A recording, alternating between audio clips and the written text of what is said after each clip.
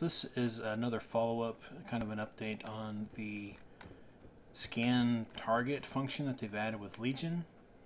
So there have been uh, quite a few questions uh, discussing all kinds of uh, things with the target function from field of view to tab targeting, etc., uh, etc. So one of the commenters in the original video, Dre1, noted that you can simply hold down the tab key and it has similar functionality and indeed it does. So the first thing I wanted to kind of address with this is there have been some comments about the tab target functionality being wonky and people having difficulty with it and trying to figure out how it even works. And I, I believe this may be their issue. So tab targeting, you tab through like normal, that's great, but I, I know that I myself, I'll find my target, I'm like, okay, I want that guy. And then if I just, if I were to happen to turn slightly and there's a secondary target and then release tab, it's going to change my target. So I can see where people would be like, why? It, it changed my target. Why did it do that? I, I don't get it. Um, so anyway, so there is that for those of you that, that don't want this functionality um, or are trying to figure out why it's not working, that may be the issue.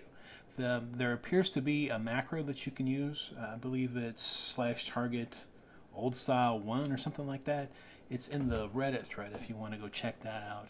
Um, I'll put an annotation of it here uh, when I edit this out. So anyway, so back to the actual feature of uh, selecting a new target. As you can see, it works.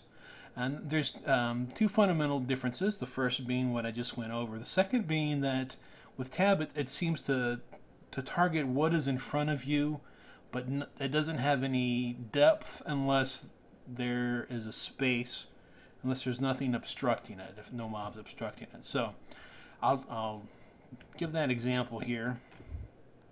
Let me get all of these mobs here.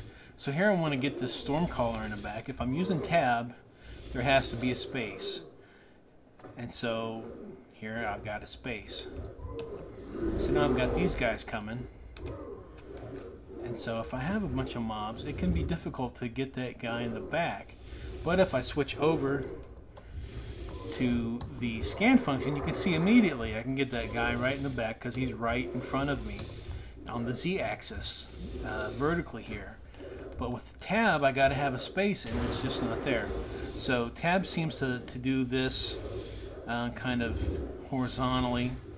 And again, the scan function is going to let you do it kind of on the z-axis vertically. So those are the two uh, differences that I found with it. Um, I'm probably myself going to keep tab target and use this as best I can and then have shift tab be that depth selection that the scan function provides.